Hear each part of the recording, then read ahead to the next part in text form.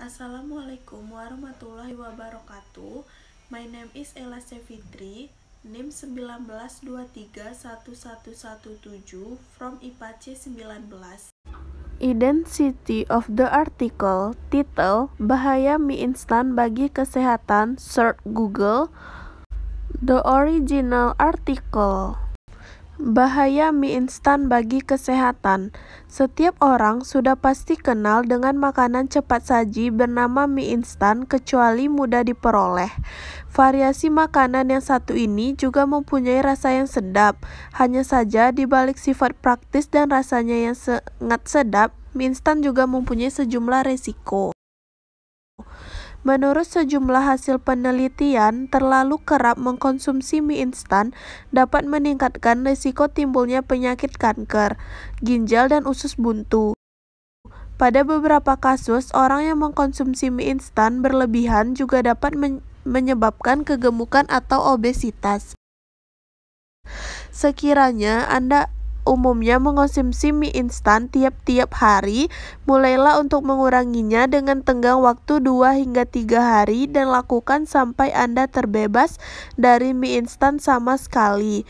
Menurut penelitian, rupanya di dalam mie instan terdapat kandungan lilin yang sangat membahayakan bagi kesehatan manusia. Mie instan mengandung kandungan lilin yang berguna untuk membuat mie tak lengket satu dengan lainnya. Dengan seiringnya kita mengonsumsi mie instan, berarti kita juga sudah memasukkan makanan kandungan lilin ke dalam tubuh kita.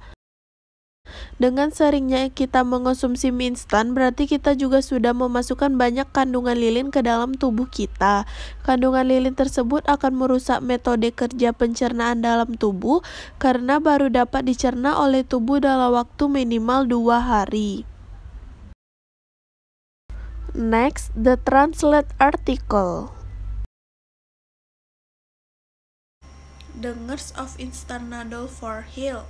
Everyone is definitely familiar with fast food called instant noodle.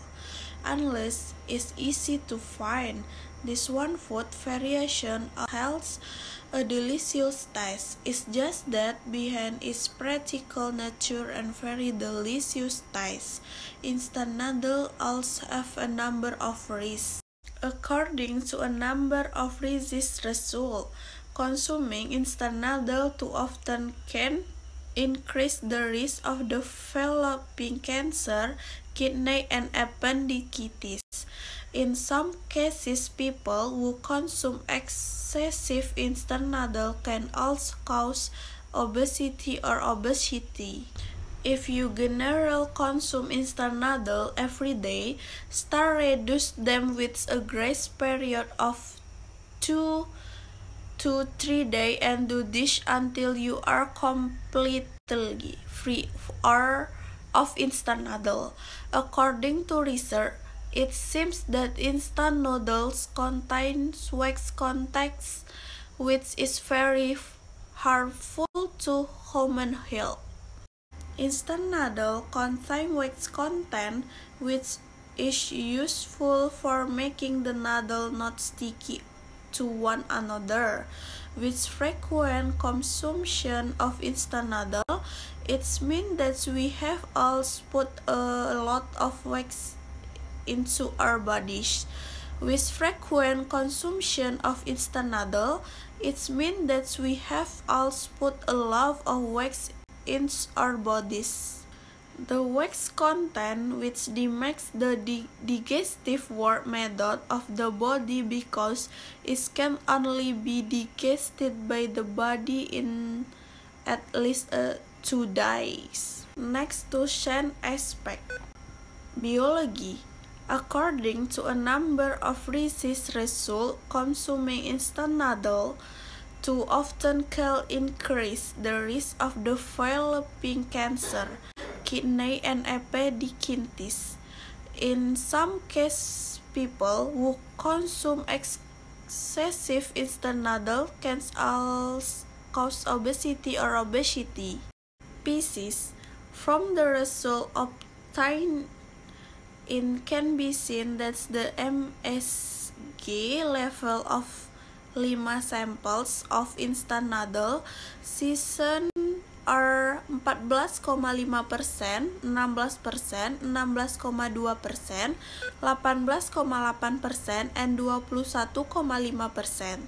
The safe limit for consuming MSG per day is 0,3 sampai 1 G per day. Next to chemistry, beside the wax content, Instant noodle also contain sodium which can cause high blood pressure and ulcers, and if it is consumed in excess for a long enough time, the sodium content can certainly significantly cause disease.